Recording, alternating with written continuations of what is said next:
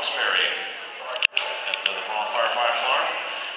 Grabs the sword, whacks the, uh, the shield, which is our second obstacle. Sponsored by Carmel Stone, Equine Bodywork, and Reiki. Headed to our third obstacle. A piece of metal on a stick.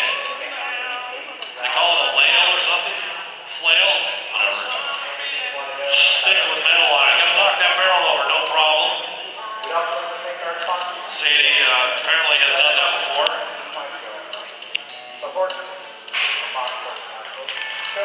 Kristen's been riding since she was 10 years old.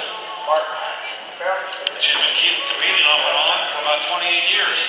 All right, fourth obstacle's completed over the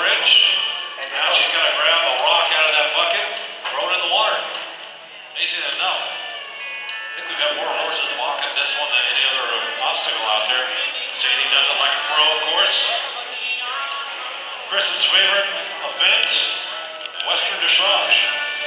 Her horse's favorite event is doing. So, uh, I think they're in the right place. All right, through the barrels they win. Gotta get through the gate here, open it, through it, and then put the, uh, the rope gate back, back up. I want to thank, uh, Horse and Pathfinders, VTHorseandPathfinders.com, the Leadership Centered Coaching, Moretown, Vermont. Through the noodles they go.